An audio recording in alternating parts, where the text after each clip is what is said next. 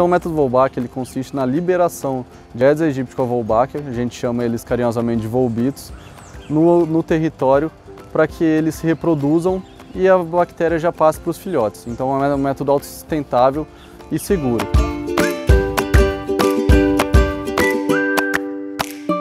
O método Wolbach é uma iniciativa que começou na Austrália em 2009, eles conseguiram fazer a transferência da bactéria Wolbachia, uma bactéria que está presente em mais de 60% dos insetos na natureza. Então tem Wolbachia em abelha, mariposa, formiga, libélula, mas não tinha no Aedes aegypti. Eles retiraram a Wolbachia da mosca da fruta, da drosófila, e inseriram em ovos de Aedes. E essa bactéria dentro do Aedes, ela impede que vírus se proliferem, tanto vírus da zika, dengue, chikungunya. Então mesmo que o Aedes com a bactéria Wolbachia pique uma pessoa doente, esse vírus não vai conseguir se proliferar dentro dele, consequentemente ele não vai transmitir nada à população.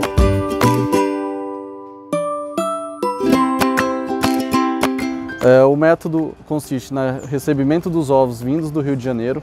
A gente tem nossa biofábrica aqui em Campo Grande, onde nós fizemos, fazemos a eclosão desses ovos, criamos as larvas até a fase de pupa e adulto e liberamos os adultos através de carros do estado.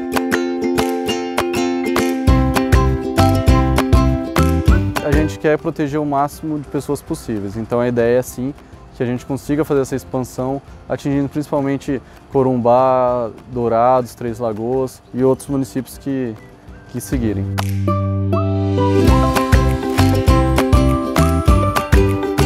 E aqui em Campo Grande, a gente faz um monitoramento para ver como é que está o estabelecimento da Volbach em campo.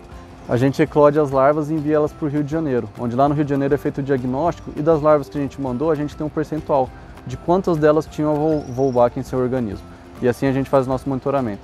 Atualmente, na primeira fase, foram sete bairros, a gente tem cerca de 60% de Wolbachia e na segunda fase, foram outros 10 bairros, a gente está com cerca de 70% de Wolbachia em campo. Então são números muito esperançosos para que a gente consiga diminuir dengue, zika e chikungunya que há tanto tempo atingem a população.